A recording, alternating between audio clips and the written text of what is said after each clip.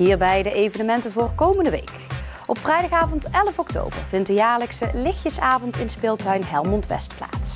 Om 6 uur gaat de speeltuin open tot 9 uur en de toegang is gratis. Bij Café de Vijfhoek wordt op vrijdag 11 en zaterdag 12 oktober een Oktoberfest gehouden. Kruiken vullen, worsten eten en hossen. De avond begint om 9 uur. Op zaterdag 12 oktober om 7 uur openen de directeuren van de culturele instellingen de Nacht van Cultuur. Een avond vol muziek, dans, workshops en lekker eten. De toegang is gratis. Veilig Verkeer Nederland Helmond gaat op zaterdag 12 oktober van 1 tot 3 uur gratis uw fietsverlichting controleren en repareren bij winkelcentrum Mierlohout.